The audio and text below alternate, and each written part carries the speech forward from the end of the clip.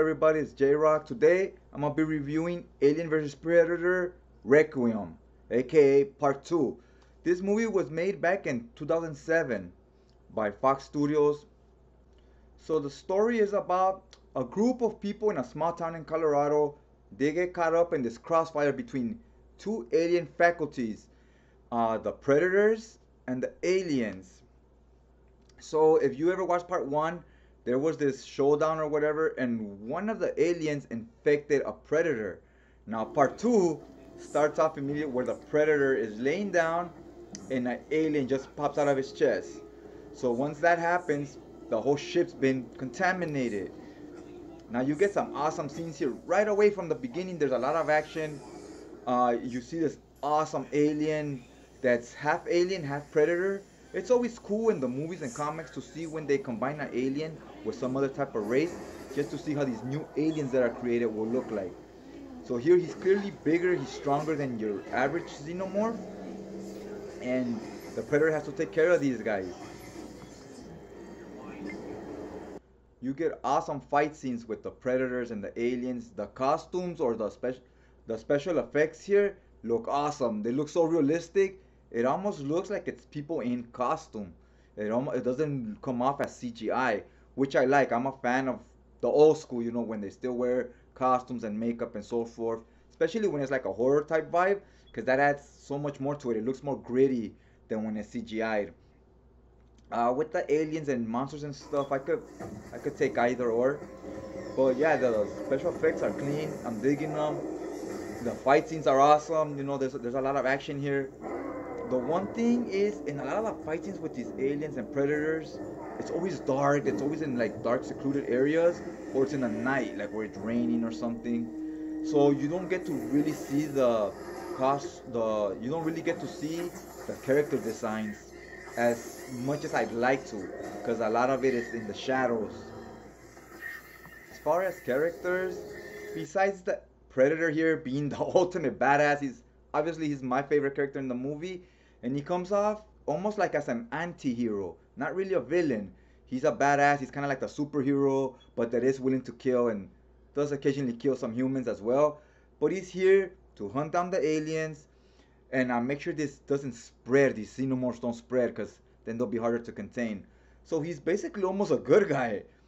Then you have your cast of a bunch of like teenagers and so forth with a few adults, the local town sheriff, you know, there's usual tropes that you have in like your Freddy Krueger movies, your Jason. This is what this does. Uh, it introduces those characters, and the local town sheriff is a character I really like here. He comes out kind of heroic. He's outgunned, and uh, he's looking for help from the local civilians, and he's putting his trust in them. Now you also have this uh, woman that she just came back from the military and so forth, and she's kind of like his sidekick, if you will. So she's helping him, and I really like this one scene here where the government is telling them, "Oh, look, there's this this this spread of aliens or whatever, right?" They're telling them, "Come to this location, and we'll go save you right there." This girl, being in the military before, says, "That sounds off. I know the military. I work for the for the military before. I know the government." And what they usually do is they make sure these viruses or these threats don't spread. So why are they sending us to this other place on the other side of town? Clearly what they're trying to do here is they're trying to send them there and for the, like bait kind of to take the aliens with them there. So when the aliens follow them there they're just gonna nuke the whole area and take those casualties. So this girl's a little smarter than that. She's like we shouldn't go there. Let's go this other direction where there's a helicopter there and i know how to drive a helicopter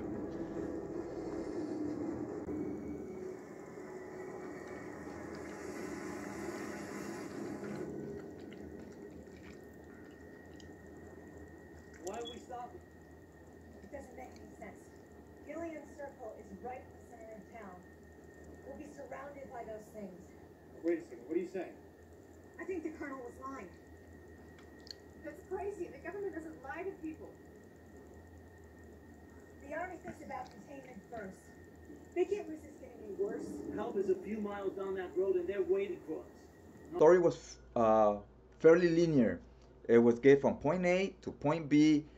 Uh, you have a group of characters. They they're getting snuffed one by one and then you just have a few survive at the end to make it to uh, the rescue point. like your typical slasher movie. Nothing special, nothing groundbreaking, but it was fun all the way through because you did have a lot of dud characters, but you had a few engaging ones that you kind of were rooting for. Like you want them to make it to the end and not die. So that's always fun, kind of trying to guess which ones are gonna make it. Now the movie was about an hour, 40 minutes or so, which was perfect for this because had it been too long, you don't have a lot of story to rely on. So that would have been a problem. Here there wasn't too many dull moments. For the most part, there was always action going down. There was always a purpose in every scene. There was never time to just slow down and get to know the characters, which can sometimes be a bad thing. But for this particular movie, I think that was a good thing, right? These characters didn't have a, uh, much going on, or they didn't give you much reason for you to care about them and slow down and have character moments. I think that kind of would have ruined the pacing and ruined the movie. My big issue plot wise was that Alien has always been a sci fi horror. It's always been in space or in spaceships. And this one is on Earth, which I think that was doomed for them from the beginning because of the setting they went with. I don't think that fits Alien well at all. So they did they did what they could with, with, with what the whole plot was. They tried to make the best of it, but it came off more as one of those 80 Jason movies kind of deal. Now another thing, people uh, say this was a terrible movie and so forth. I don't think it was nearly as bad as people make it out to be. Don't get me wrong, it wasn't a great movie, but it wasn't terrible. I I seen worse. This movie spent about 40 million, I believe, and it made 130. So it made well over double its money back. So in that regard, it was a success. My expectations were low on this movie, and it exceeded my expectations. All in all, I'd hit this movie with a 6 out of 10. I thought it was well worth the watch. Not something I would rewatch very often, but I don't regret watching it. I'm glad to have it under my belt. Glad I saw it, and I can't wait for another Alien movie or another Predator movie for that matter. Uh, I hope you guys uh, like what you saw. If you did, go ahead and hit that like button. Also, if you want to see more future content, movie related reviews, go ahead and hit that subscribe button. That way, it'll keep you updated on my future content. Alright, guys, I'll check you guys out later.